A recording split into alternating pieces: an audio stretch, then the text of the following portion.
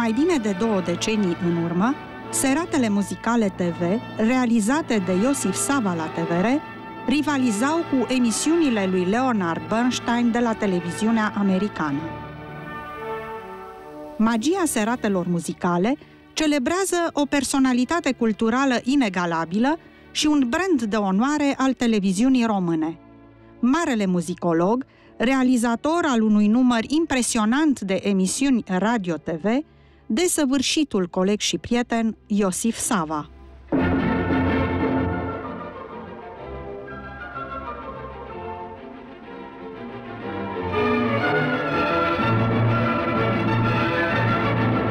În această seară, invitata lui Iosif Sava în studioul emisiunii Seratele Muzicale este Ioana Celibidache, artist vizual și soția inegalabilului dirijor Sergiu Celibidache.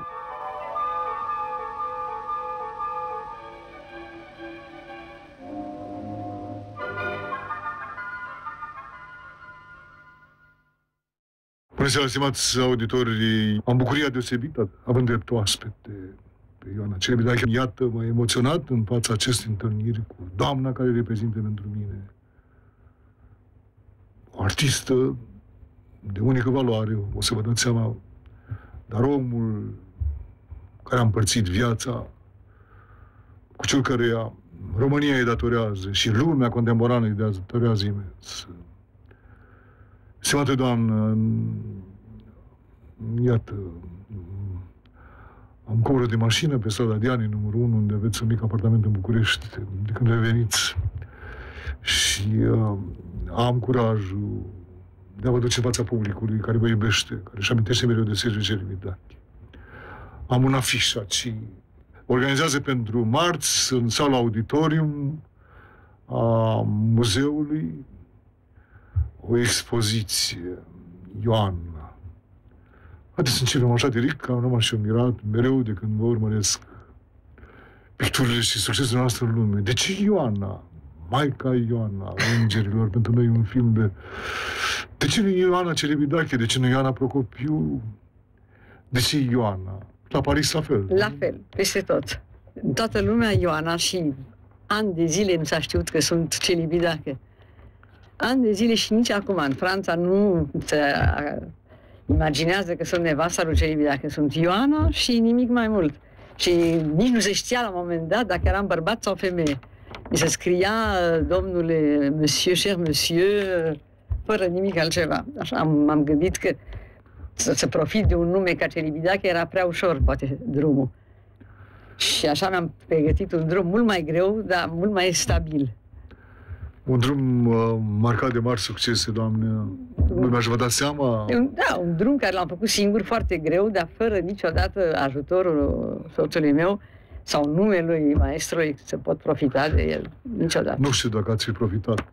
Lumea totdeauna are semne de întrebare. Da, Trebuie să fie cu două tăișuri. Totdeauna nu ai succes bazându-te de pe altcineva, Bineînțeles. numai pe tine. Te Dar cred că a fost și un orgoliu la mijloc al meu, probabil. Orgoliu unui mare artist, care stă pe picioarele sale. Probabil. Uh, și ideea că, având în vedere că e nevasta maestrului, așa, își deschide ușile peste tot. Da.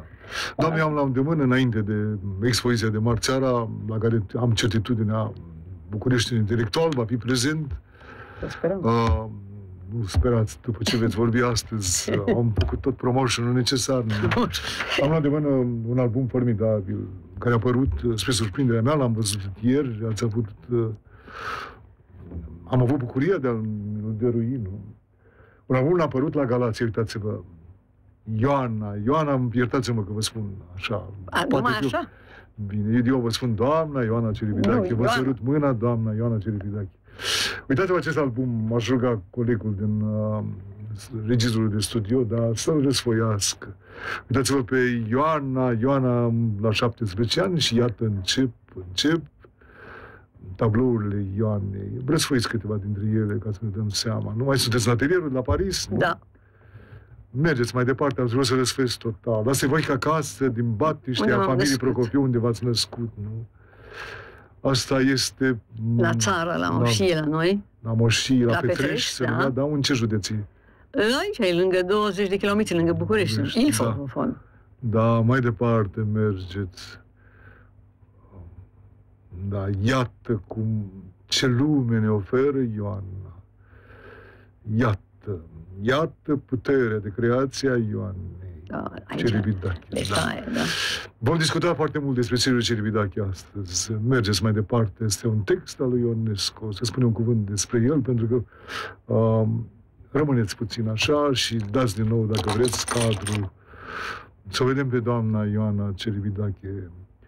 Doamna Ioana Celibidache, care a expus în foarte multe locuri ale lumii, nu?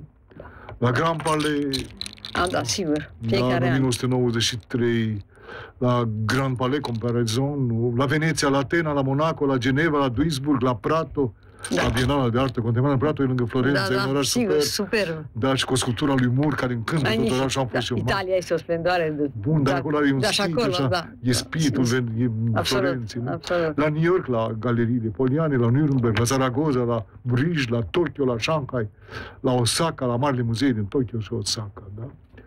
Textul acela care e înserat în acest volum uh, e al lui Eugen Ionescu, care sc- vorbea în 1966 despre perfecțiunea tehnică, despre geniul virtuozității.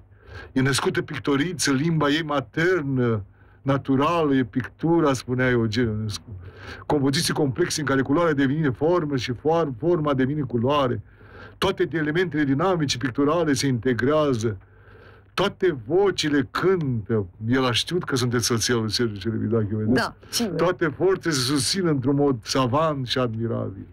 Pentru ca să vorbesc chiar de dumneavoastră un cuvânt, numai așa cum obișnuiesc cu toți oaspeții mei, Ionel Gianu, unul din cei mai mari critici și unul din cei mai mari înțelegători ai artelor contemporane, a însemnat imens pentru cultura plastică din țara noastră. Nu?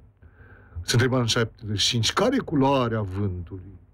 Ar fi întrebat un copil pe mama sa.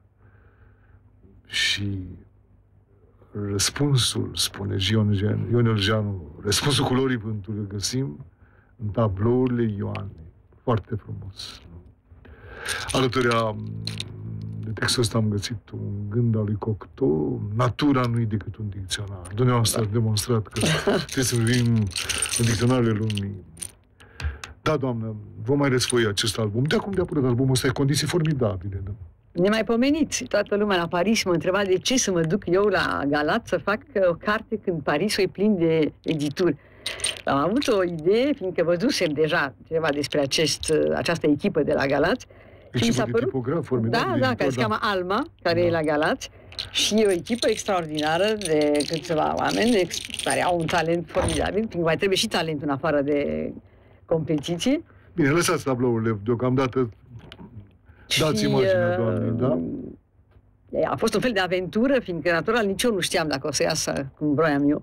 Și efectiv uh, sunt extraordinar de mulțumită de rezultatul acestei cărți, care mi se pare valabilă la maximum și comparată cu Schira sau cu orice altă... Și eu m-am gândit la, la colecția Schira în momentul când am văzut. Adevărat. La Galate v-ați dus, probabil, pentru că Sigur, mai am există un nume lucrat. Celibidache, Sigur, nu? am, nu, m-am dus din cauza că cunoșteam oameni acolo Dar sora și domnului, este și o soră a acolo, domnului da? Celibidache, Sigur a că da. maestrului Celibidache. Sigur.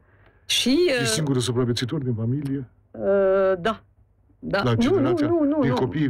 Din... Nu, nu, mai există o soră care este la Caracas, care este Tania, care e măritată cu un fost uh, diplomat, care e Petre Maxim, și care sunt instalați la momentan la Caracas, sau doi băieți, dintre care unul e la Seattle și celălalt e la Londra. Dar Sergiu Celibidache din București... uh, Acest ne- alt nepot, care e Care- băiatul fratelui uh, lui- maestrului și care, de altfel, stau în casa lui, mi-a pus la dispoziție un apartament al lui, Da, unde mă simt ca la mine acasă. da, doamnă. Ce ce m-am Mi-am mirat regăsit de- România de... M-am pe spus că vă vremuri. întâlnesc la orele 16.40, vin să vă iau cu mașina și uh, eu sunt, f- nu știu, am și o punctualitate așa celibidachiană, dar reținați o punctualitate care nu o întâlnesc nici o femeie în România. Nici în la străinătate. 60 ați coborât exact în secunda respectivă, da. Dar sunt o teroare pentru toate randevurile. Pentru că să știe, dacă cumva cineva are randevu cu mine, eu sunt acolo două secunde înainte. Așa era și maestru. Maestru, dar cred că de acolo am și învățat, probabil, cu Dar timpul. maestru a crescut în Germania, normal. Germanii nu întârzie Da. niciodată. Dar eu am crescut cu Francezii el. întârzie, da? Pentru că eram foarte, foarte tânără când l-am cunoscut, deci pot să spune că am crescut cu el. Da, M-a învățat enorm de multe lucruri, adică m-a educat în mii de lucruri. la întâlnirea dumneavoastră, eu știu din Buenos Airesul anilor 54-55, după Nici nu retragerea mai știu când 50 În orice caz, nu erau 40, dar erau vreo 35 de ani, dar în orice caz, m, pentru mine, nu știu, cifre, tot, niciodată n-am... Haideți, pentru că am un album ăsta, vedeți, am pus eu un semn la, la o poză care îmi place foarte mult în acest album. Nu?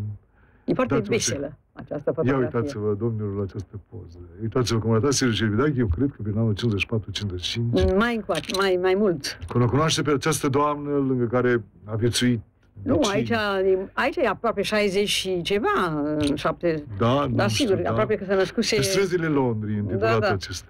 Ce lumină e în, e în maestru. Dar n-am îndoi, e așa o fericire Da. care se, o complicitate extraordinară găsesc. V-ați iubit foarte mult, doamnă. Uitați-vă numele Da, de da, chip se acum. vede. Se vede și aici, da? Cred că fotografia spune absolut tot și mai Bine, mult. te poți iubi în urmă cu 40 de ani, dar să iubești 40 de ani, ăsta e un lucru enorm, Pentru nu? că dacă ajungi să, în afară de iubire, să te și distrezi cu acest om, să nu te poți plictisi niciodată, asta este extraordinar. Asta e secretul oricelor Eu cred că asta e secretul. matrimonială, nu? Absolut.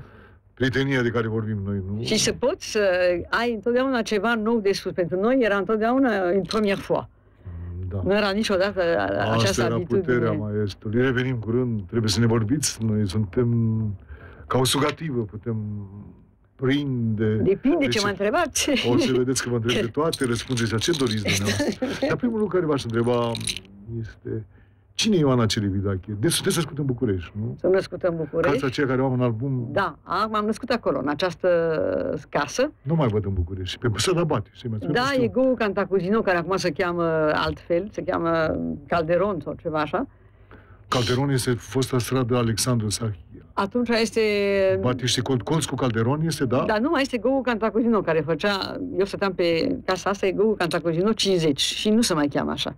Cred că este uh, continuarea lui Calderon, Calderon, da. părerea mea. da. Pentru că n-am mai găsit această Batiște stradă. strada care merge Așa că- perpendicular pe, pe acest, cal- această stradă care se merge acum Calderon. Spuneți-mi, doamnă, Ioana. doamnă... Fără- fără doamnă. nu.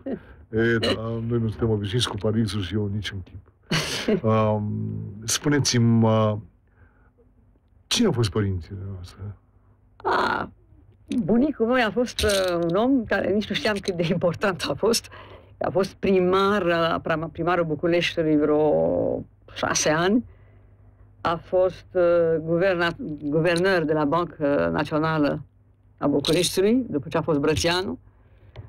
A fost, uh, la un moment dat, uh, magistrat, senator, bineînțeles, liberal a, fost o, a făcut o serie de lucruri care m, pentru București și uh, era și la un moment dat și, cum se cheamă, procuror general. A rămas în București după 44? El, uh, ăsta era bunicul, care Bunicul. pe urmă s-a prăpădit.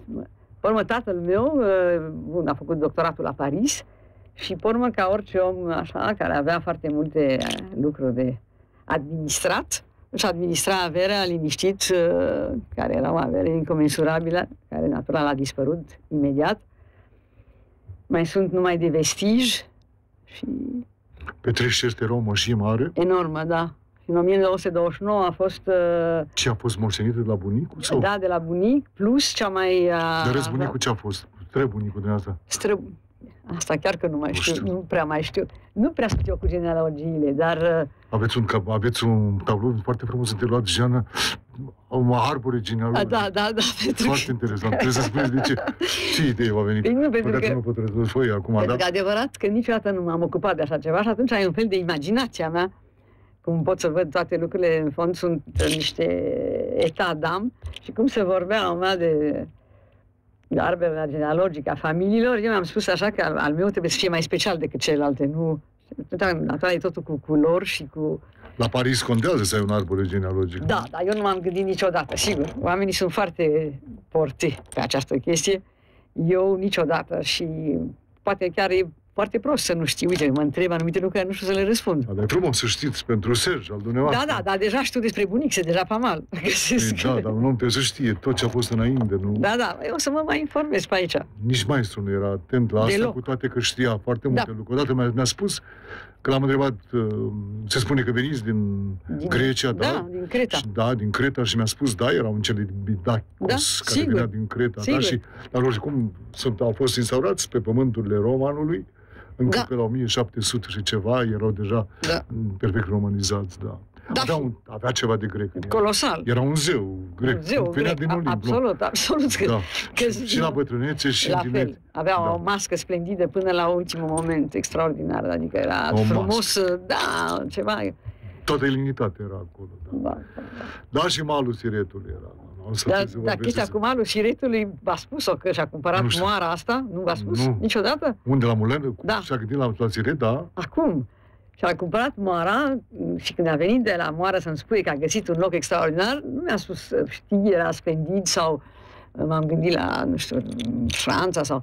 Știi, malul Siretului. da. lunca siretului. Cum lunca siretului? Și m-a dus acolo și mi-a explicat cum, când era el mic, uh, nu știu pe unde, până la Galați, nu știu ce, era lunca și această siretului și când a, a văzut moara, a E spus, lângă Roman, doamne, sus. pe lângă, da, La Bistrița în jos, coboară Siretul da, până el mergea spre și Galați. în vacanță la Galați. Da. Și mi-a povestit cum era când era copil și că asta Cine îi erau la aducea... Galați? Erau rudele de atunci? Da, avea o mătușă, unde își făcea el din când în când vacanțele, care avea o casă splendidă și care această mătușă, cu timpul, a făcut o casă de oameni bătrâni, ca să-i ajute pe oameni bătrâni. Adică Da. în familia asta întotdeauna au fost și oameni extrem de generoși uh, sufletește și totdeauna au făcut lucruri Ca toți pentru mari alții. artiști, da. Mare, un mare Da. artist e generos. Da, Nu da. poți fi altul. Da, da. Um, dar vorbiți mai departe, vom, vom reveni curând. Nu, la dar maestru. vreau să spun chestia cu Lunca Siretului, că este efectiv uh, fraza care mi-a spus-o când a cumpărat moara, să-ți arăt Lunca Siretului. Și cum veneau români și prieteni, bine o să vezi Lunca Siretului, că rămăsese extraordinar de moldovean, ceva. Mulenul ăsta un, e departe de Paris? La 100 de kilometri. Eu i-am spus că m-am întâlnit în 95, nu știu cum... Că aș scrie odată despre ritmica siretului Mhm. și ritmica pe care o imprimă muzici. Și Și am ce- privit atent. Nu Mhm. erau numai Da, uh, dornic de asemenea metafore, Da, care da. sunt stupid gazetărești până la urmă. Dar el îmi făcea demonstrația, era siretul în el. era și... Siretul este e o apă care reprezintă din plin întreaga spiritualitate, aș zice eu, a Absolut. Moldovii, da. Dar să știți că orașul care a iubit suprem, deși îmi vorbiți, vorbim De Iași. despre Roman, Roman Și e Iași, Iași. Iașul datorează imens, nu? Da. Tot sufletul meu, a declarat el în 79 că a venit la București, când am făcut și acest pin de Roma pe care, cu care am început emisiunea și pe care vă vedeam mai târziu, datorez zestrea mea Iașului. Asta a spus un Da, om da. care a părăsit Iașul între cele două. Da, în da. 36 deja nu mai era Ieșan, nu? Dar a rămas, ieșea la, până la sfârșit, Da. ceva absolut. Și chiar felul lui de a vorbi moldovenesc, uh, Da, o să vorbiți despre asta. A rămas Ieșan până la sfârșit pentru că, iată, sunt uh, posesorul unei informații excepționale, am, poate am să revin la ei, am fost uh, cu dom- domnia sa două zile de neuitat Da. pentru întreaga mea viață, în 95, în februarie, era deja bolnav, într-un fel cu picioarele, nu? A fost și Serge al dumneavoastră, departe, la Santa Cruz Da, de Tenerife. de Tenerife, da. M-a primit două zile la rând și uh, uh, nu știu cum am strecurat vorba despre eternitatea Iașului. Eternitatea e un fel de bel al Iașului, e un cimitir, Da. e un cimitir național, e un panteon acolo, e un perlașez, nimeni nu știe asta. De fapt, pentru că nu știm să cultivăm locurile astea și, și privea așa, când omul care se gândea mereu la moarte, din păcate, nu? Uh, îmi spunea că aș dori să stea acolo. Nu? Acum stă lângă Mulan. da, Trebuie să mergem cu toți să ne închinăm la Sigur. pământul lui la Mulan. Da. sigur că da. Și să facem asta cu toții, nu? Gândindu-ne la 14 august, la noaptea de 13-14 august. S-a stins. Să revenim la batiștea dumneavoastră, da. Am Da. zis că cel vedeac eu venim mai târziu.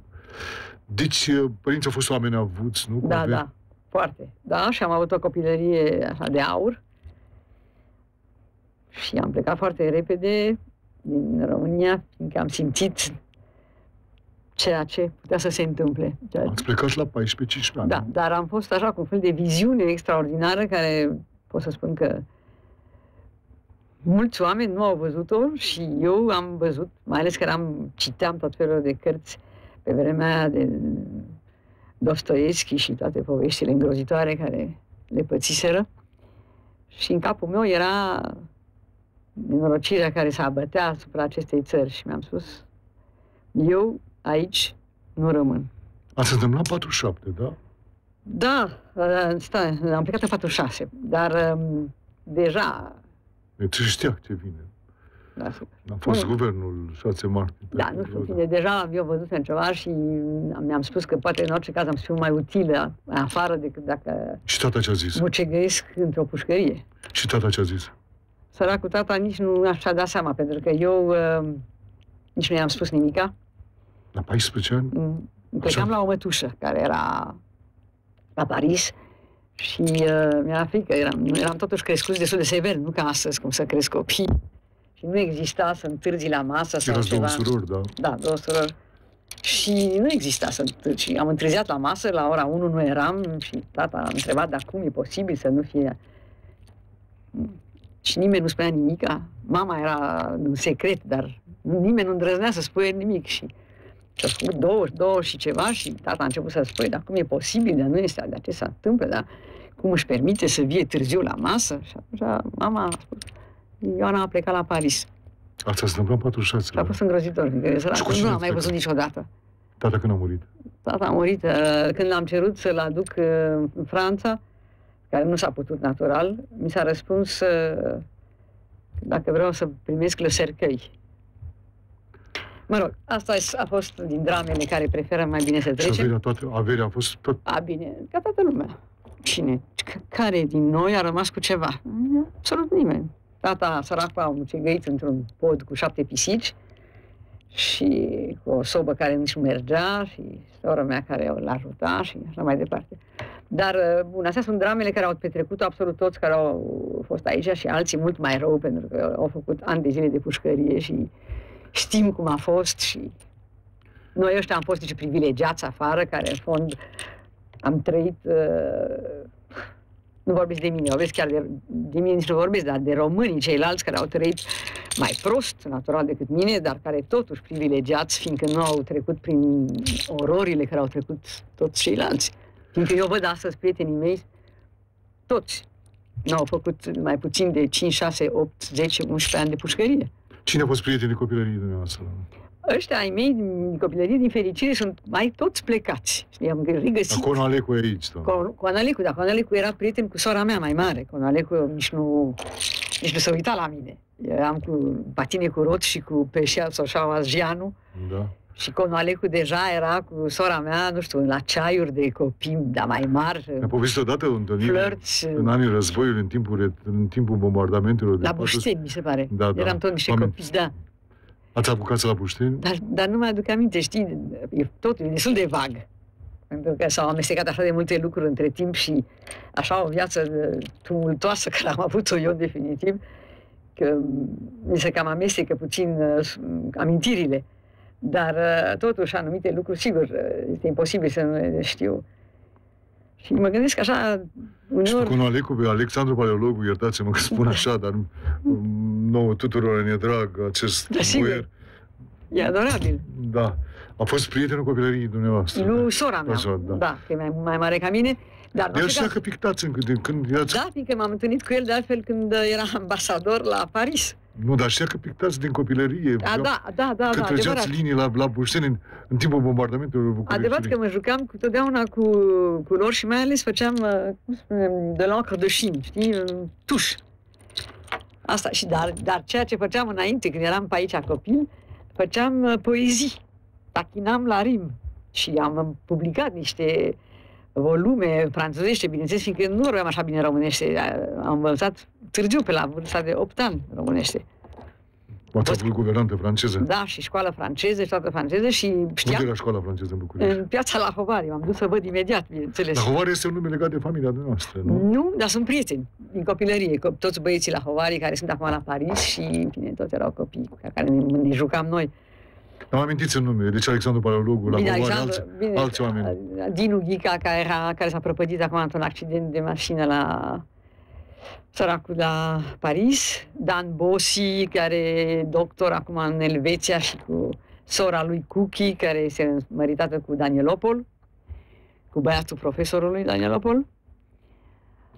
Era o serie de copii care... Sanda Burileanu, care e măritată cu un mare profesor Popescu de inimă, un mare doctor aici care Ce erau lume, prieteni, Dana Doamne. Romalo, Dana Bercean, toți copiii ăștia erau Mai unul- vedeți pe unul de ei? Când Da, sigur, o să-i văd, uh, i-am, i-am chemat, sigur că Marți la da, expoziție, da, da. N-am, n-am avut timp Da. niciodată, că am lucrat la Galați. Până data trecută am lucrat la computerul când am fost aici pentru, tot pentru cartea asta. E o întreagă muncă, nu e foarte ușor. Da, da, ca să iese așa o Ca carte. să iasă așa. Și uh, am vrut să demonstrez și abia aștept să demonstrez acum la Paris ce poate face România. Pentru că mi s-a spus... Să vină toți să-ți facă com- comenzi la Mi tipografie s-a din spus, toți au râs de mine spunând te duci în România să-ți faci carte. Tu ce ai nevoie să duci tu în România să faci carte? Și am spus, eu acolo mă duc și o să viu și o să vedeți. Și eu sunt scorpion. Și scorpionul când decide ceva, Nu se lasă. nu se lasă. Este tenace cum nu există nimeni pe lume și ajunge la scopul lui trecând prin cele mai mari eh, catastrofe cu surâsul pe buze, dar ajunge acolo unde vrea. Și uite, cartea asta este efectiv un alt succes care demonstrează că atunci când vrei ceva, am muncit cu echipa asta adevărat, cot la cot, dar n-am făcut-o eu, au făcut-o ei. Ce noroc a avut maestru că a avut un scorpion alături. Da. El Și-a era dat seama de cancer. asta? Da, sigur Și-a că dat da. seama, Dar nu? sigur că da. Cu toate că erau mii de obstacole, fiindcă uh, scorpionul nu e ușor să trăiești cu el. E, un, e, un, e o mică problemă. da. Dar, uh, în fond, destul de agreabil pentru că nu e niciodată pesimist. uh, Ce l-a avut nevoie de suflete ridicate? și avea nevoie, deci exact, avea nevoie, sigur că din când în când după concerte sau ceva așa mai venea o, deprim, o depresiune, că nu ieșea bine concertul, că știu eu, nu cântau Și cum atâtea trebuia. probleme a avut. Și o sută de mii de probleme, bineînțeles, dar mai ales, în fond, problema ma- majoră la el era muzica și acustica care nu era bună și avea dreptate de altfel, uh, televiziunea care nu îi reda ce trebuia să-i redea, și așa mai departe. Bine, vorbim și despre asta, doamnă. Mi-am amintesc filmul acela, Grădina lui Cerividache, pe care noi l-am văzut acum vreo Mm. șase luni, datorită societății Cerividache, datorită lui Dan Grigore, datorită lui Sergi, Ioan Cerividache, care a venit la București, nu? Tot așteptăm să-l avem și noi. Am avut și săptămâna trecută că a fost cumpărat de Iran, Da. sperăm, dacă Iranul și-a cumpărat o asemenea film, noi avem absolută datorie să găsim căile ca să putem cumpăra acest film în televiziunea națională.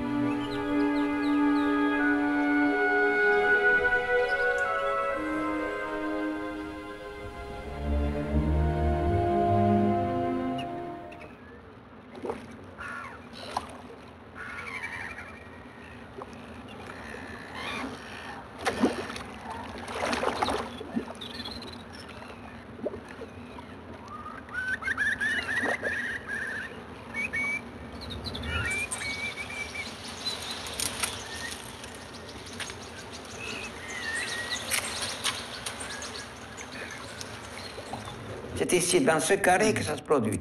Essayez-le.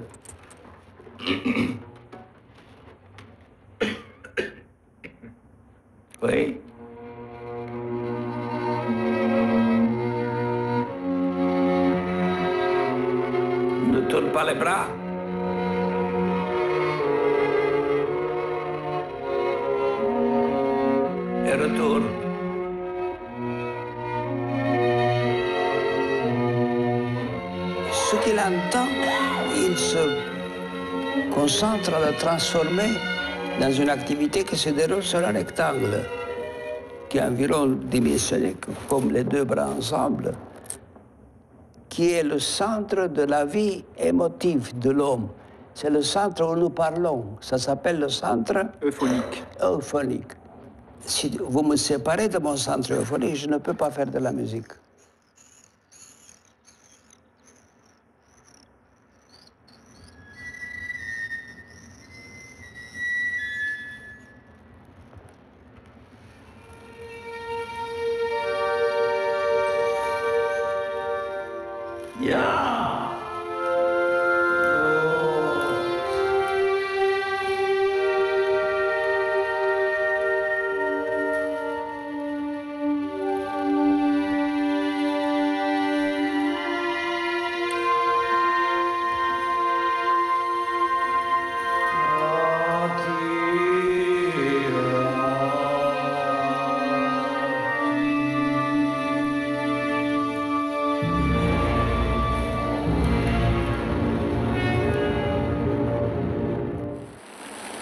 La fin est dans le commencement.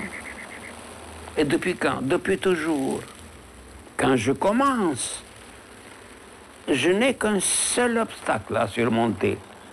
Jusqu'où je vais grandir? Jusqu'à un certain point. Après lequel, je ne peux que rentrer.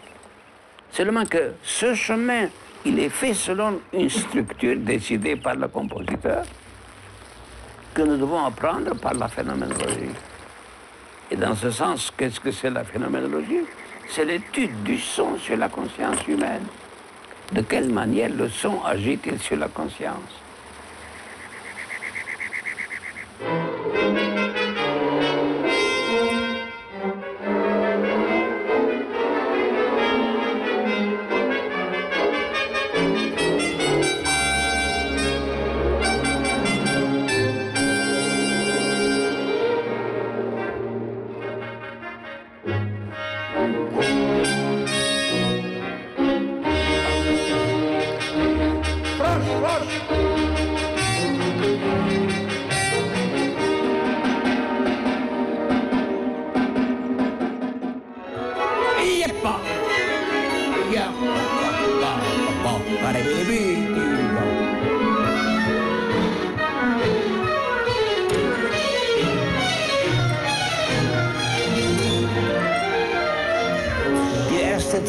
Male waren sehr precipitato. Nein, bremer.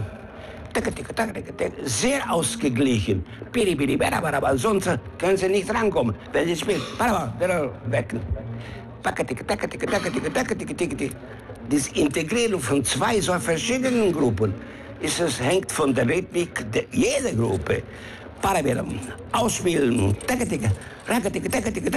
ja. Und noch einmal dasselbe. Vier Takte vor. Haben Sie gehört, wie wunderbar sich das macht? Bedingung, dass Sie dabei tanzen, mittanzen.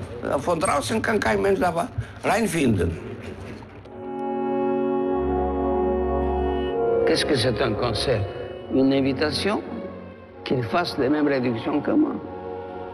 Il a une bonne occasion d'avaler quelque chose que j'ai bien mastiqué pour lui. Je ne fais pas des concerts qui ne servent qu'à prouver que je suis arrivé à un certain point. Pas du tout. C'est pas du tout mon activité qui m'intéresse quand je fais la musique. C'est la création des éléments qui rend possible l'entrée de l'autre dans la même sphère.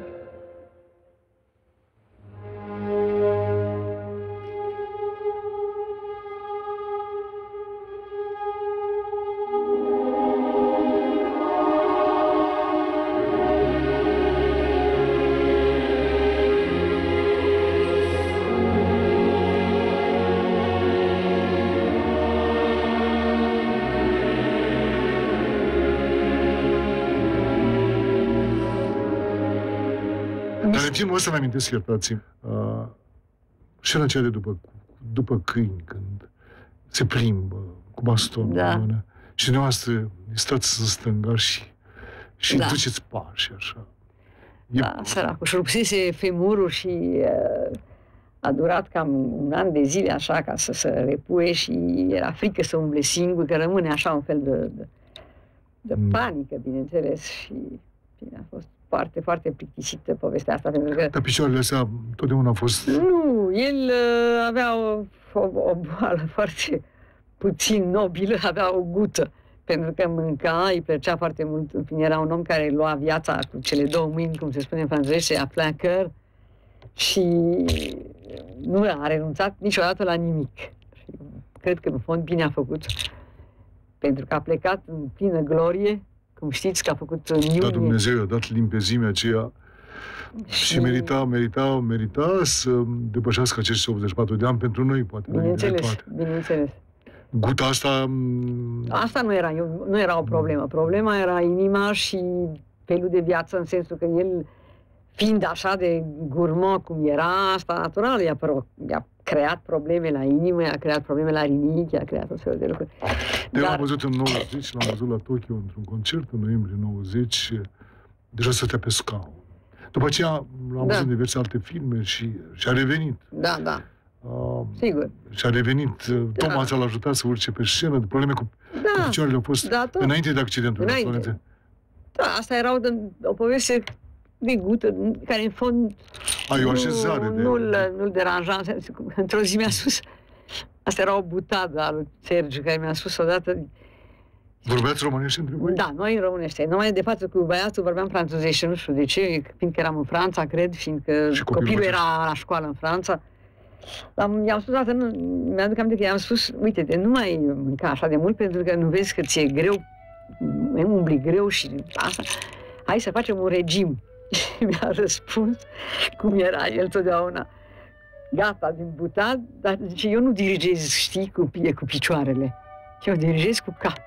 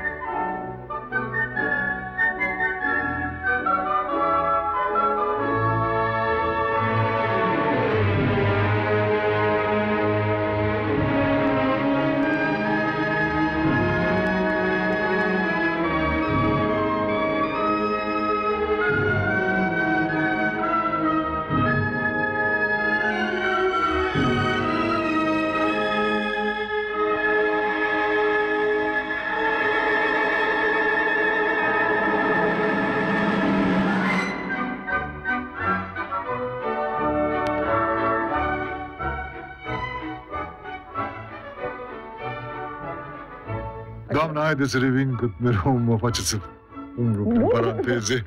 Haideți la casa asta dumneavoastră. V-ați numit Procopiu, nu? Nu, am numit Procopie Dumitrescu și mama e născută Procopio. Mamă, v-ați numit Procopie Da, Dumitrescu? așa se chema tatăl meu, bunicul meu, toată fam- genealogia mea, așa este.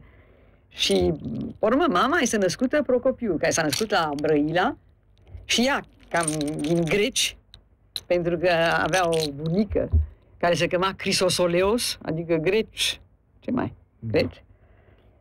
Ca și Sergiu, care în fond Demostene, tatăl lui se chema Demostene Celibidachis și pe urmă s-a tăiat Is și a rămas Celibidache, dar uh, în fond foarte greci. Deci eu am o parte din mine, din Grecia, care este absolut uh, Spuneți, sigură.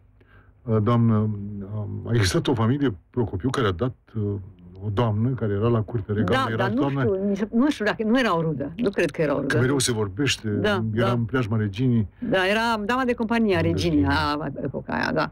Da. Dar nu, nu era o rudă.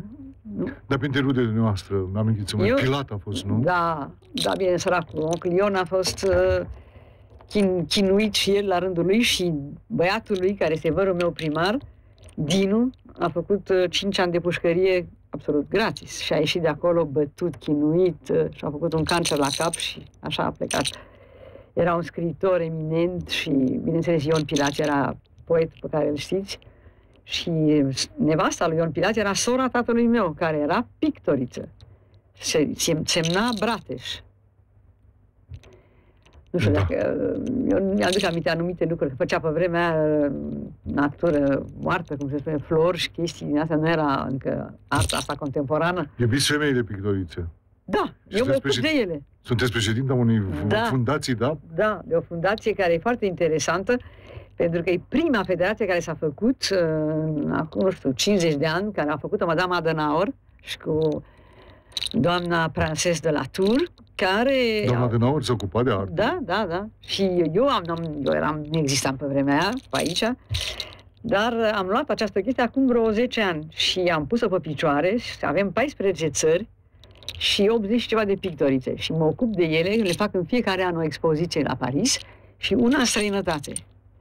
Și ce pictorițe uriașe avem noi în România, doamnă? Dar știți că eu... Să vă dau un singur exemplu, poate am să reușesc să vă arăt niște lucruri ale domnului Geta Năpăruș Grigorescu se numește, o doamnă de... Nu cunosc.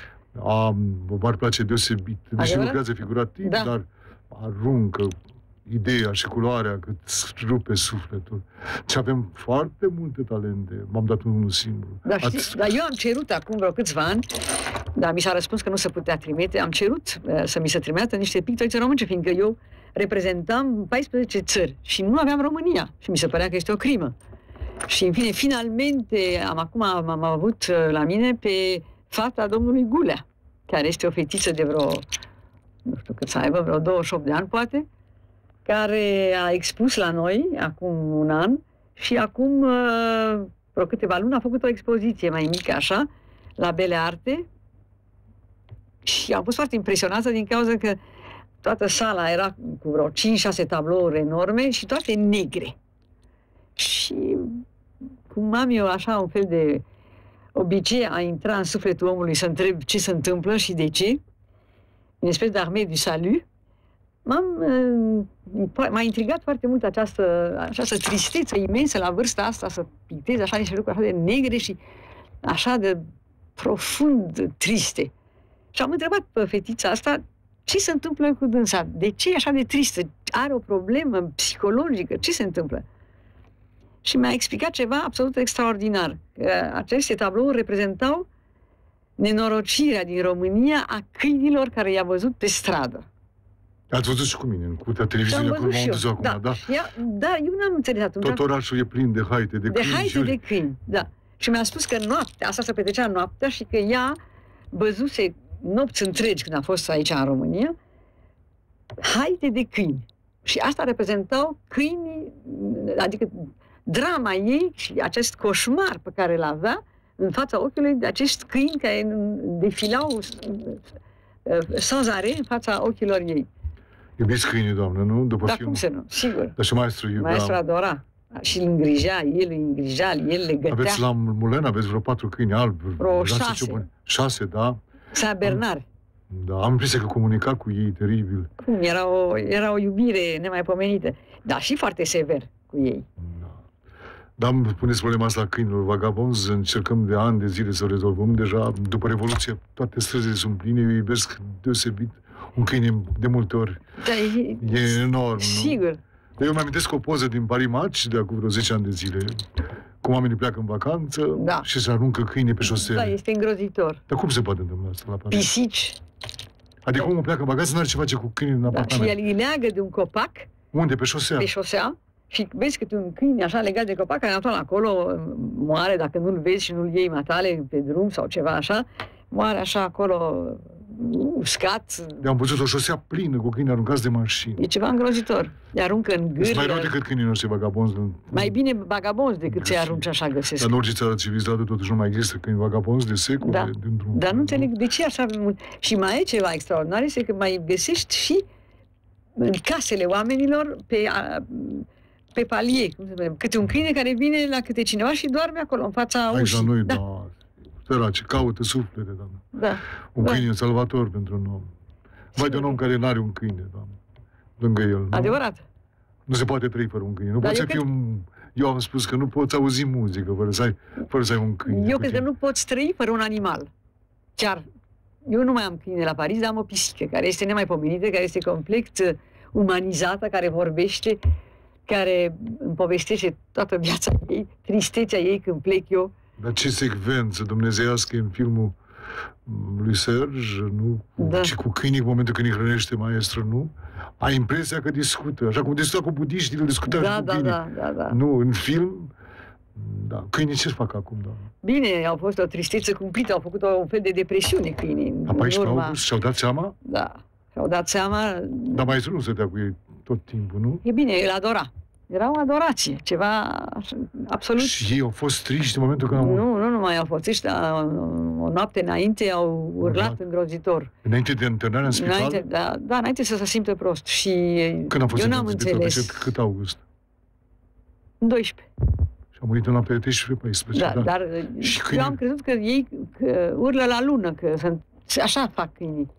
Nici nu, nici nu mi-a trecut în cap, bineînțeles. Dar apropo de câini, câinii au simțit și eh, eu mă duceam totdeauna duminica la țară, în fine, și în iarna, și eh, erau de o tristețe absolută, ceva Și acum bestială. îi îngrijește cineva? Da, am acolo o pereche de gardieni destul de puțin inteligenți, dar în fine, dacă erau mai inteligenți, poate nu făceau pe gardienii. Și Dacă câinii au rămas inteligenți... dacă câinii au rămas foarte inteligenți, da. da. Spuneți-mi, în 46, când ați plecat, cine v-a scos?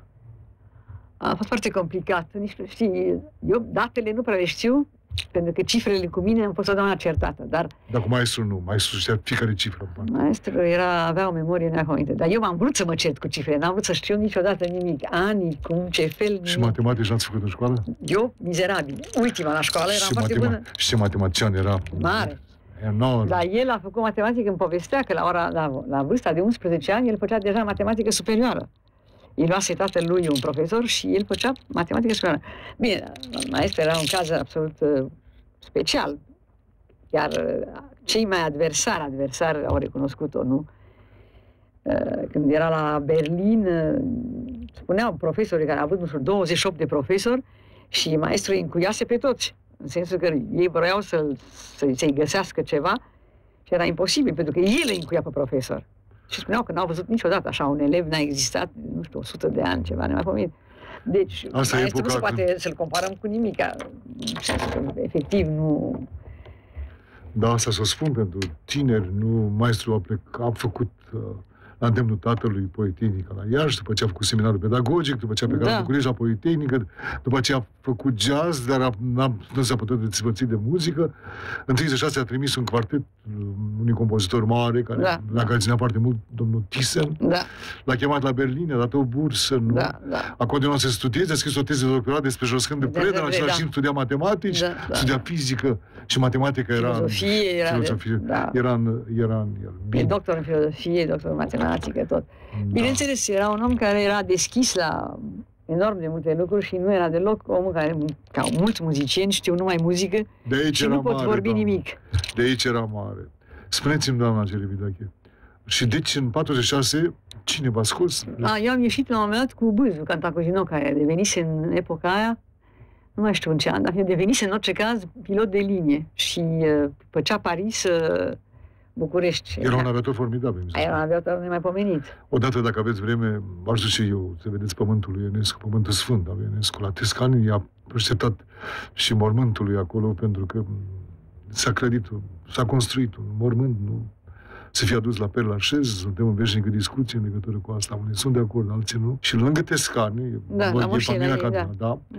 E un teren de aterizare. Unde era- Unii Tot, și unde Băzu venea Da, cu da, un da, avion da, și da. ateriza, ateriza pe o, pe o fășie. Bine, de dar era pământ. nemaipomenit. Era pasiunea vieții lui și și în timpul războiului el a fost un erou, fiindcă el a fost unul din cei mai importanți piloți care au avut cele mai mari... uh, Era pilot de șas, cum se cheamă, și De vânătoare. de vânătoare, da. Și uh, avea nu știu câți, uh, câți uh, de, cum se cheamă, soldați, care, de, a, de aviatori, natural, care erau adversari și care îi dărâmase și nu știu ce. În fine, era Și v-a scos cu un avion în 46? am spus un avion care era de linie și mi-a găsit un loc acolo pe la spate. Natural, Fără așa. pașaport, fără nimic.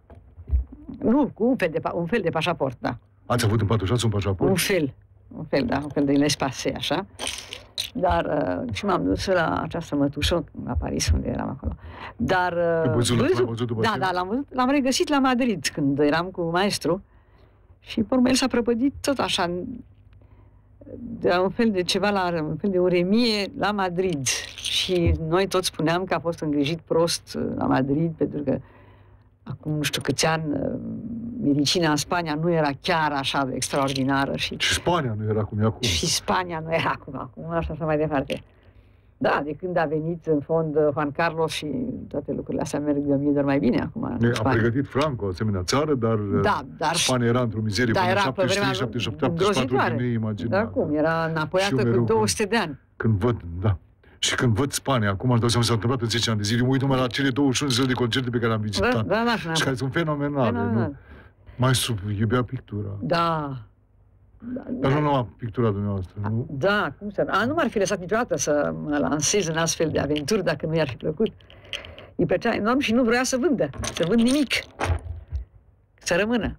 Asta e unde mare de drame ale voastre, ale pictorilor.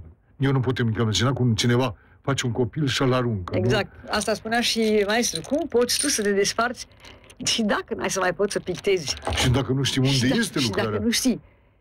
Adevărat, și uneori mă gândesc așa, da, E o la un dramă moment dat, voastră. da, la un moment dat, uh, decisesem să recumpăr eu un tablou a unui, uh, unei persoane care vândusem. Și pe urmă mi s-a părut așa de ridicolă povestea asta că am renunțat. Dar, Dar dumneavoastră vindeți tablouri, da. e, da, sigur, cum să nu? Pe ce aș face? Numai așa pentru mine? Le Nu, vând. dar mai a avut bani întotdeauna, nu? A, dar nu e o chestie de bani. Este o chestie că, în fond, tu ce vrei să faci uh, cu aceste tablouri? Oamenii vin la expoziție, le plac, vor să le aibă. Nu poți face cadou. Fiindcă deja dacă faci cadou, ești deja uh, catastrofat față de umanitatea întreagă. Asta la voi la Paris. Peste tot. E, la noi e altfel. Mi-a spus Un odată... cadou a unui pictor e un semn, e un omagiu deosebit adus unui intelectual român care nu are bani să-și cumpere un Uite ce... tablou. A, bine, așa am făcut și eu unui român odată, adevărat, că era un arheolog, care nu mai știu cum îl chema, la Roma, care venea în fiecare zi și se uita la o pictură și așa, era absolut în trans. Și uh, am priceput că nu avea bani. După un timp de am vorbit cu el, în fine, am- și mi-a explicat că dacă ar putea, dar nu știu ce, că e arheolog și că... Și atunci, bineînțeles, faci cadou. Bun. Dar, Dar mai dacă... era împotrivă, da? Uh, nu, el era, era un prieten de-al meu, care era Eduardo De Filippo, care era un mare actor, autor și actor italian, și care mi-a dat odată un sfat și care mă iubea foarte mult și care vrea de altfel să fac eu teatru și să fac uh, cinema și... Bun, și nu s-a făcut din cauza că maestru, când a auzit de cinemaș și de teatru, mi-a spus ori eu, ori cinema. Și atunci am spus, Nu iubea cinema ei, nu vrea să fac eu pe artista, nu? A- Asta nu i-ar fi convenit niciodată, adică nu era deloc uh, în ideile lui și atunci am renunțat, bineînțeles, imediat.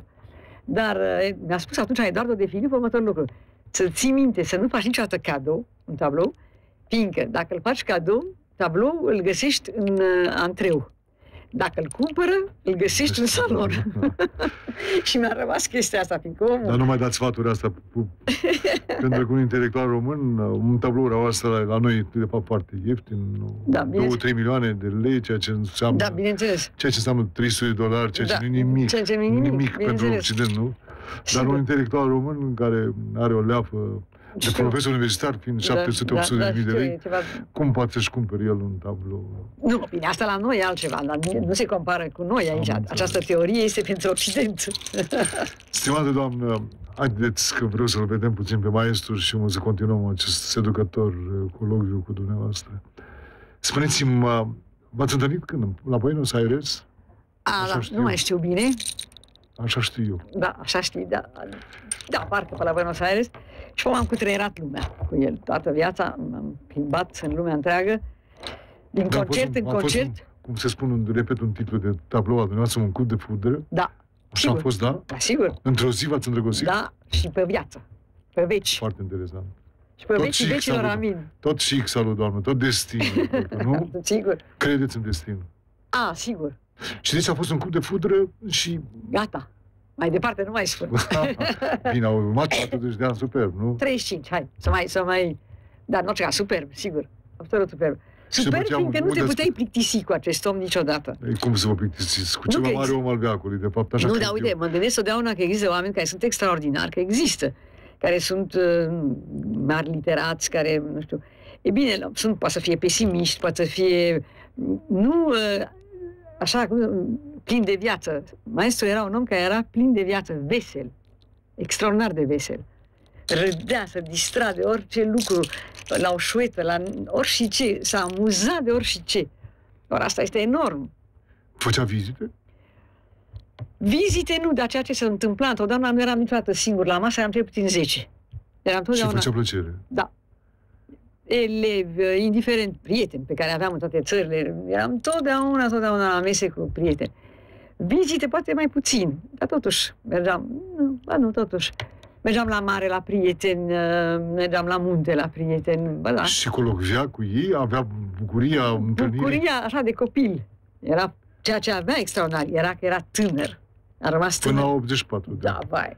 Era mai tânăr decât nu știu câți tineri de 20. Da, asta se vede în Da, se film. vede. Se vede în filmul în relațiile lui cu tinerii. Da, Sau relațiile lui cu membrii da, se orchestrei. vede de, de la 5 km se vede. Sau relațiile lui cu Serge. Da. Și Eu am acolo amintiri. era o simbioză nemaipomenită între amândoi. Um, am, să vă spun și așa un gând, atâta, um, în- vă spuneam în ianuarie 95 la Santa Cruz, m-am dus la hotelul în care stătea, eram înconjurat de membrii orchestrei, Thomas Da. mi-a făcut cu greu loc, așa, m-a primit în cameră să uita la un, la un pusen. Mm. O dovadă că arta practic era în el. Nu știu de ce, avea un album. Da. Uh, Da, da. Serge uh, avea grijă de el. A, da. Îl ducea peste tot, săracul, nu putea să meargă o secundă, nu? Um, l-am văzut și cum l-a dus după concert, urcându-l Da, într-un da, Mercedes și da, da. ducându-l acasă. Da. Dar da. în momentul când a spus Serge că îți duci să fac un gol pe jumătate de oră și că lasă cu mine, nu? Uh, avea așa o căldură de Mm. părinte, că m-aș dori ca, nu știu, Da. orice Da, părinte da, da, să, da. să aibă, să aibă asemenea dragoste Da, față de este copilul. extraordinar de călduros și uh, afectuos și Și Serge îi seamănă și ca figură, nu? leit. Este o miniatură, îmi doream o miniatură, cred că Dumnezeu mi-a dat-o.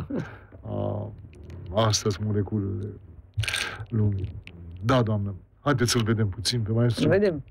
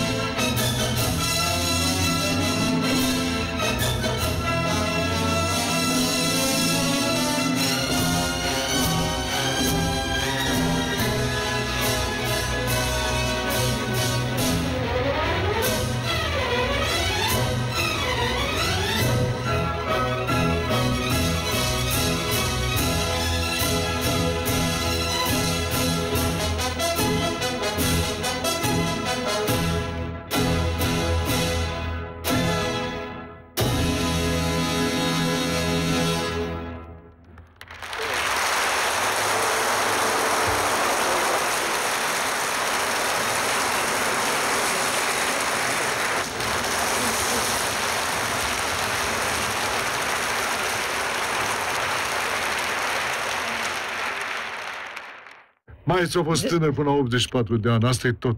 Nimeni nu i-a putut să jupoaie tânăr, Da. pielea de tânăr. Da. De altfel se vede ceva extraordinar, nu știu dacă vă dați seama, ceea ce se, eu nu știu să traduc asta în altă limbă, dar uh, în engleză se he enjoys life. O vezi cum el este acolo pe podium. Bucuria vieții, așa traduceți, doamnă. Bucuria Joy of vieții. life. e- e- E așa exact. trebuie. E ceva Bucuria așa vieții. extraordinar. E o sintagmă shakespeariană până la urmă. Da. Este absolut ceva nemaipomenit.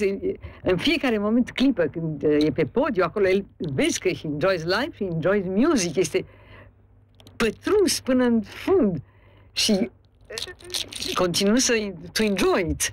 Da. Eh, Asta, știi, vezi, așa de multe, nu vreau să vorbesc prea mult de muzică, că- dar ce văd eu în jurul meu și nu mai mă duc la niciun concert și n-am mai fost de 100 de ani, de altfel, pentru că nu prea suport nimic.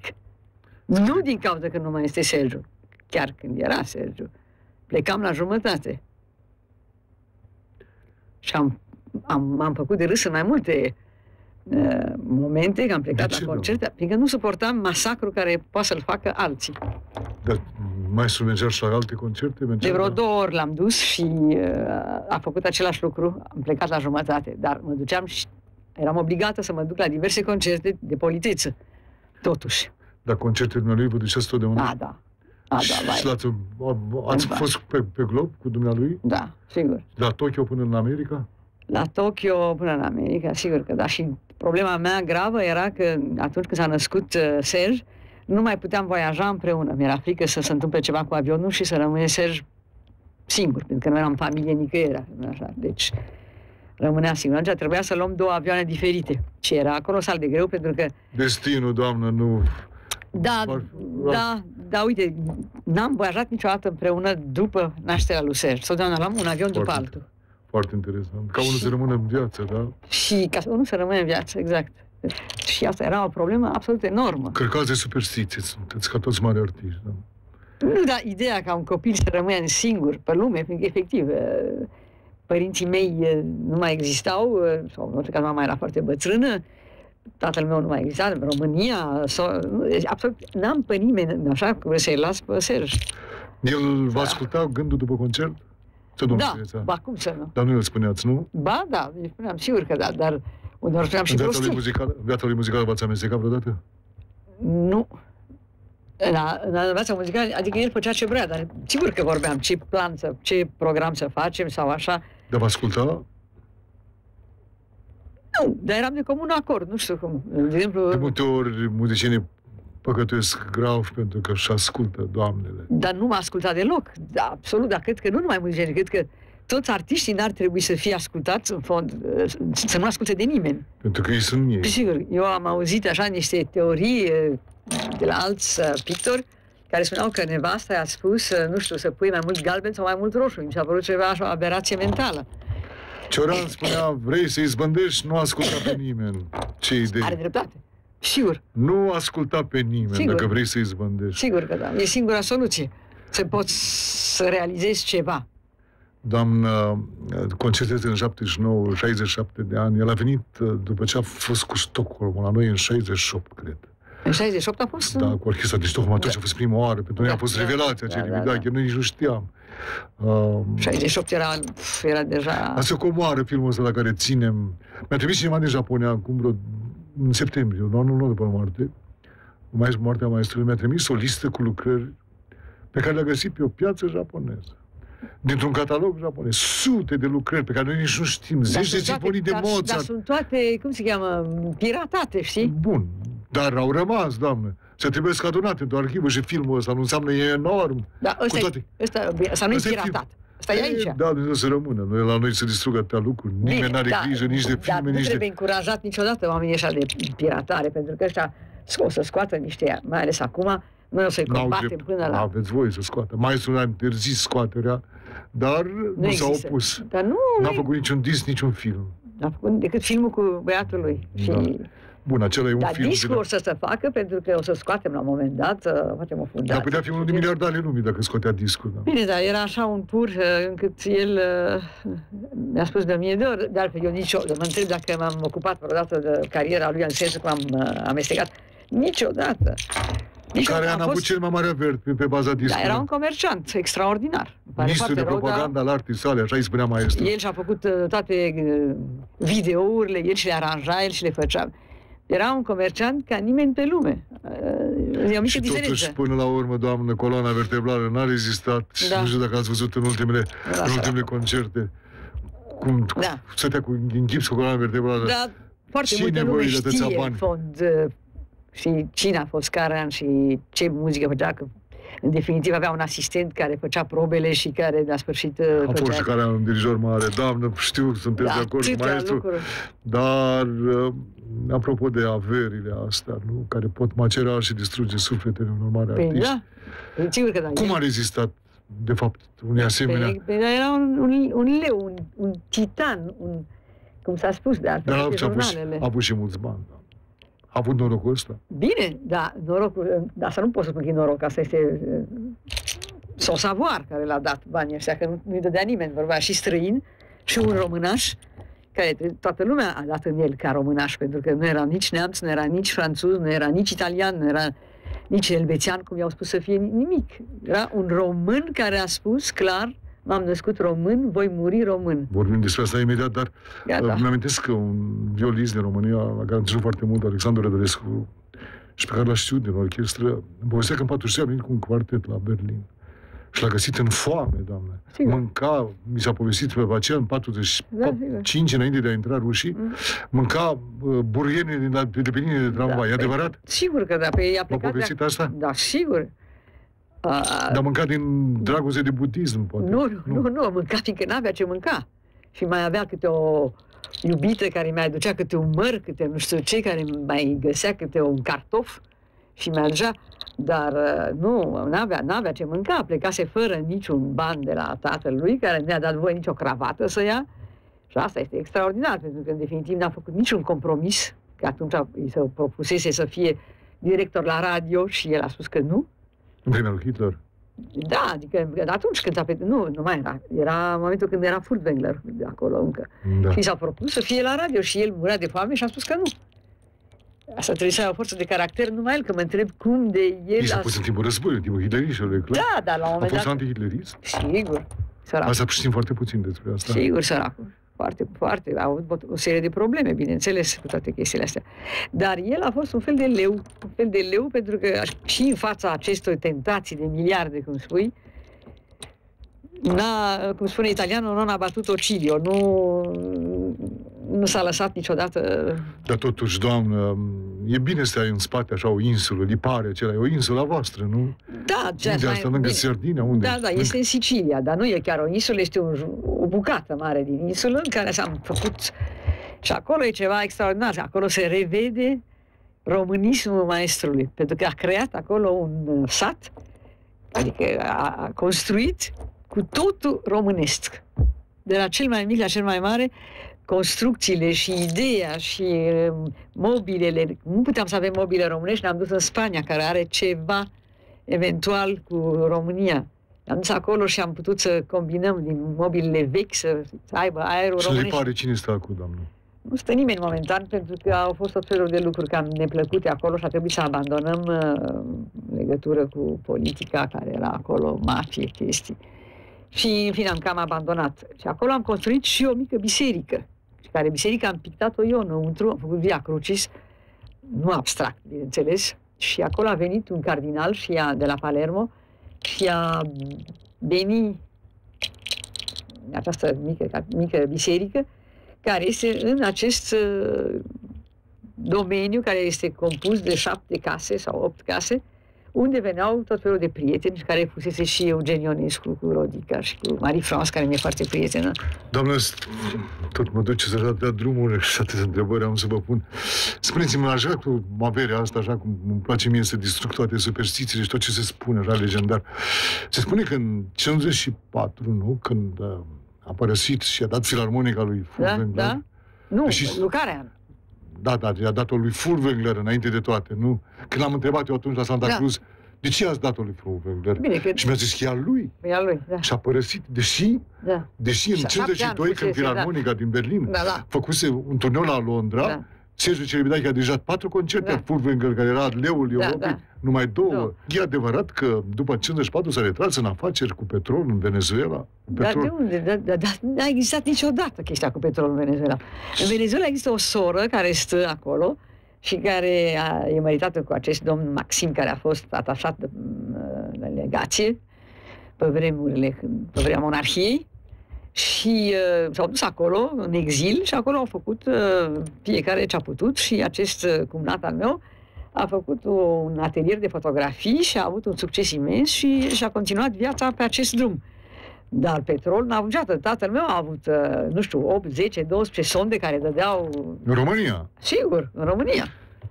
Da. Sigur. Deci nu, nu e adevărat. Lege. Nu, nu, dar să spun atâtea, atâtea bazaconi, atâtea bazaconi. E În toate țările, nu numai la noi, în România. Bine, lumea are, ne fantazează, lumea niște, folclorizează. fanta- niște fantazieri ne- Bine absolut că ați spus adevărul. aici. nemaipomenite. Că noi auzeam că are o insulă, nu? Pentru vremea aceea noi Da, nu plecam da. nici până la Mizil. Da, exact. nu puteam să Absolut. plecăm cu trenul, de că plângeam la Constanța prin anii 50. Era trebuia mare. Să, nu, trebuia să avem un pașaport special ca să mergem la la- mare la Constanța, nu? Și auzeam că Sergiu Celibidache Da. are o insulă. Da, nu? da, absolut. De- Da. mm. Da, și cum am auzit că am mai auzit și altele, am auzit că uh, avusese niște hoteluri și că avea o, cum se cheamă, un șen de hoteluri, Da, un, un, un lanț de hotel. un lanț de Da. hoteluri, care ja, niciodată, nici în... Ce nu se amestecă în afaceri? Probabil că lucrurile erau Nu, și mai, asigurate. mi-a, mi-a povestit și o prietenă de-a mea care e la Torino și care era foarte prietenă cu mine și este și într-o zi mi-a spus foarte așa, jenată, și uite, noi suntem prieteni de așa de multă vreme și nu mi-ai spus că ai fost nevasta lui Caraian. Da. Adică, îl cunosc, da, dar n-am fost niciodată și m-am gândit vreodată, Doamne, nu, ci că de-aia îl detestă, să detestă ei doi, pentru că m-am măritat după aia natural cu Celibidache și Ferească dar, Dumnezeu vreau- de dar ce fantezii. povesti nemaipomenite, așa, una după Doamna alta. care nu seamănă cu dumneavoastră, se bărfesc și eu puțin, doamna. Da, da, da. Știți asta, da? Eu am fost la Linăster, satul lângă Salzburg, unde e mormântat Caraian Da. și am întrebat în sat, Da, așa, sigur. m-am recules și doamna stătea la Paris. Da. E femeie foarte, foarte tânără, cred. Nu știu, eu, nu, eu nu cunosc, de altfel eu l-am cunoscut pe el uh, foarte bine la Veneția, fiindcă aveam concerte împreună. Și era un om extraordinar de orgolios, lucru care eu s- nu suport. Și l-am văzut cu un baston, eram în ascensor cu el și bine, conversam natural și îi spun, uh, a, făcând o gafă din cele mai colosale, dar în fine, eu sunt celebră pentru gafe, i-am spus, a, zic, uh, nu știu cum am zis, dacă are și el, uh, doare piciorul ca și bărbat, nu, fiindcă el e tot aussi gourmand. Da. Și natural, fiind orgolios și nefiind ca bărbat, pentru că uh, maestru nu era deloc orgolios, mi-a spus, nu, eu am căzut la schi, referi șut. Adică e mult mai elegant să cazi la schi decât să fii mâncat prea mult și să se doară piciorul, nu? La care am găsit că era orgoliu. Da, era un om care pe mine nu Da. suportam nici la... Dar spuneți-mi, um, accidentul acela de femur la Da, Florența, da. cum a fost pe scenă? Nu, a fost ceva și suntem în proces și acum am și terminat procesul, fiindcă nu o să-l câștigăm niciodată, fiindcă acolo sunt ita- italienii cu mafia lor, nu pot face nimica. Nu, eram, uh, ieșeam la un restaurant, uh, Asta s-a întâmplat în ce lună? mai, eram la Maggio Fiorentino, eram pentru concert. Mai 1995. Și, da, Ce 5? da. Și ieșeam la masă cu prieteni, nu știu ce, toți îmbrăcați, nu știu ce, eu gata, Sergiu ieșea pe ușă și a luat, co- aici a fost, aici trebuia să fie procesul și a, a durat un an de zile chestia cu avocații și nu știu ce. Și trebuia să iasă și a luat covorul care nu avea un antiderapant pe parchet, că era suita lui Col care ne dăduse, și a alunecat cu covorul. Suita car- uh, cancelarului Col, da? Da, și noroc că am prins totuși capul lui Sergiu când a căzut și nu s-a lovit de o masă imensă care era acolo și am chemat imediat doctorul, da, da, da, bine, acolo a fost neapămit. Nimeni n-a vrut să, cum se cheamă, să, să te, temanie, niciunul. Să devină martor, să Să devină testimoneze. martor. testimoneze. Nimeni. De, toți directorii care au venit, care eu i-am chemat ca să-l aducă, pe, nu puteam să-l trag pe Sergiu pe pat să-l pun, că era greu și trei directori cu un grum și cu... L-am pus, deci l-au văzut că era în hall, adică în, în salon unde era. Și s-a spus că nu, că și-a rupt piciorul în baie ca să n-aibă ei niciun fel de răspundere. Ah, Italia, Italia neironiană până la Dar ceva urmă. teribil. S- Așa că și da. am natural, am terminat și cu procesul, fiindcă am, am umblat un, un an de zile să încercăm să... Da. Nimeni nu s-a, s-a... Și procesul era pierdut o fond avans, fiindcă directorul i-a spus grumului să ia imediat covorul. I-a spus, prendi, e vai. Știi, și l-a luat la și a plecat. Adică Eh. să nu mai fie niciun fel de... Da, Maniaș. doamnă. Da, dar criminalul mare, știți care au fost, cred eu, așa, după câte știu eu, așa, probabil că tot legendă este. Uh, budistul cela, orientalul cela care a spus că va muri în 1996. Da, eu Asta nu, poate fi marcat o viață, nu? da, eu cred, nu știu, Se spune eu, un om la 84 de ani, vei muri anul ăsta.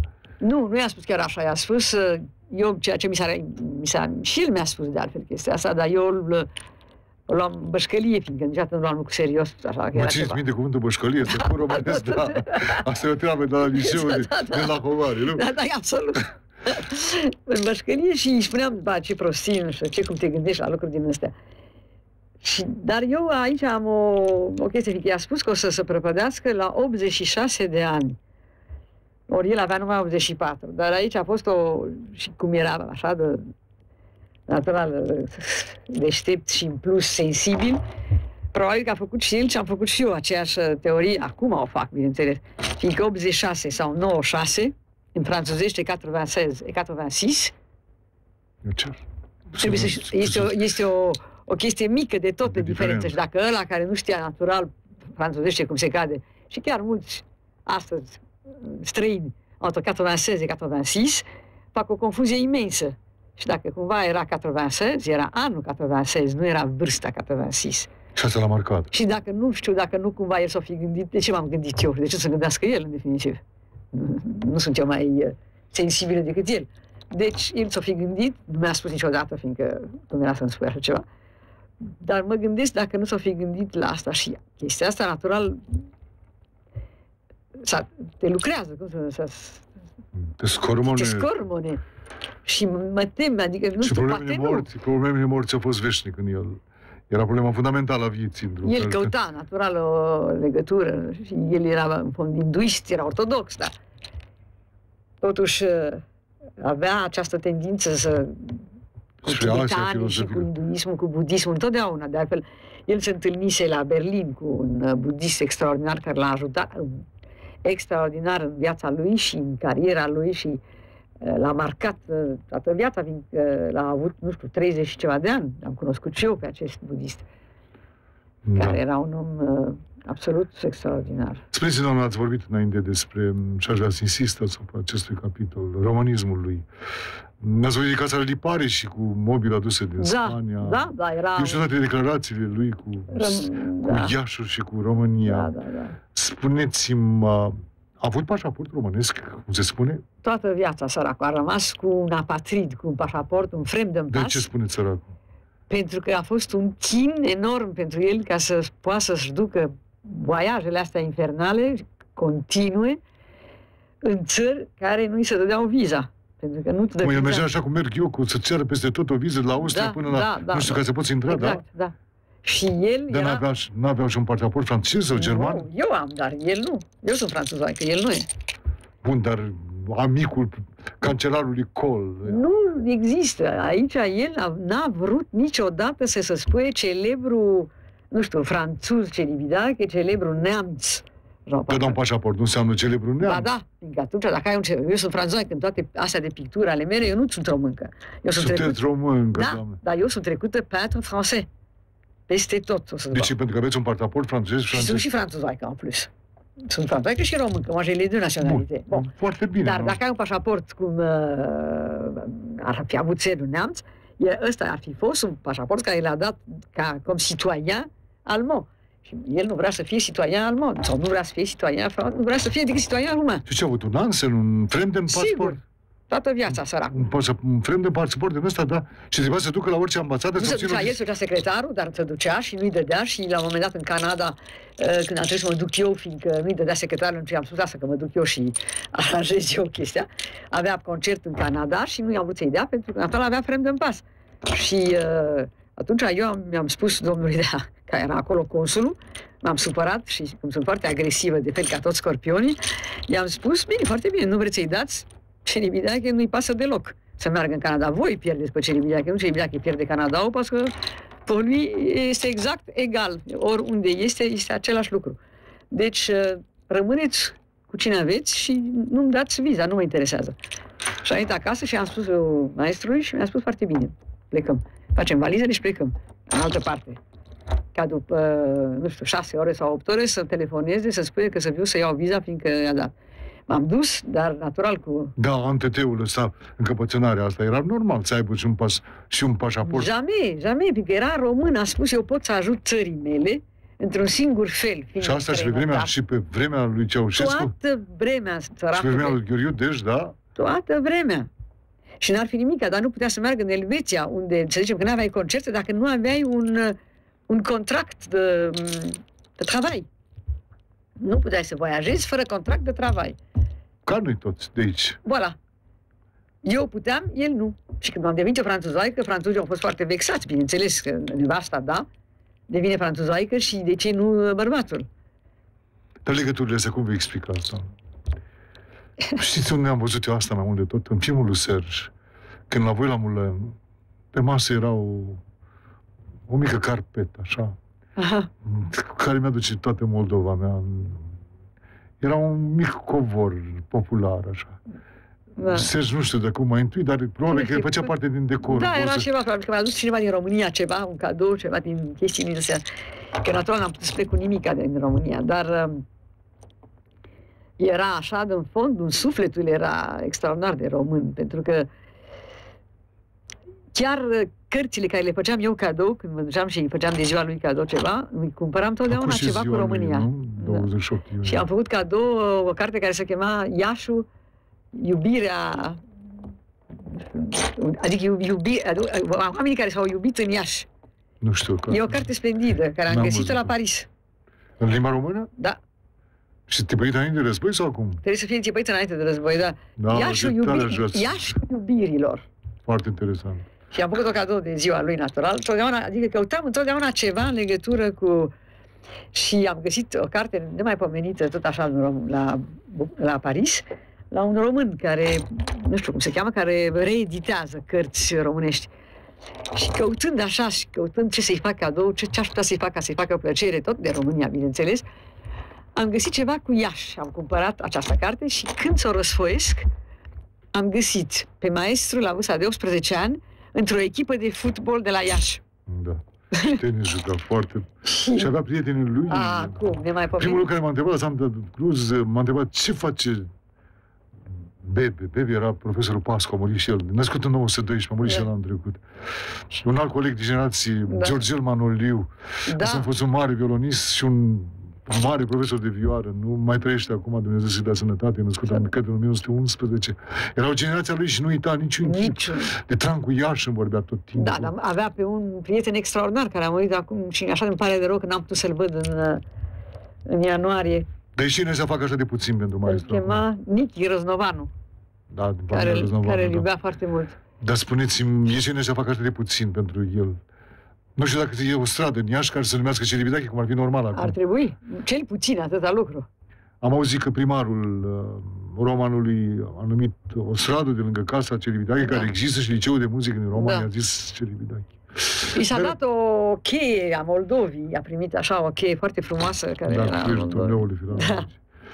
Mm, Poate mai vorbim despre asta, dar iarăși apropo de destin, um, de o anumită aniversare. Vedeți, uh, cred că mâine chiar, la 1 iunie, nu a avut loc ultimul concert al maestrului.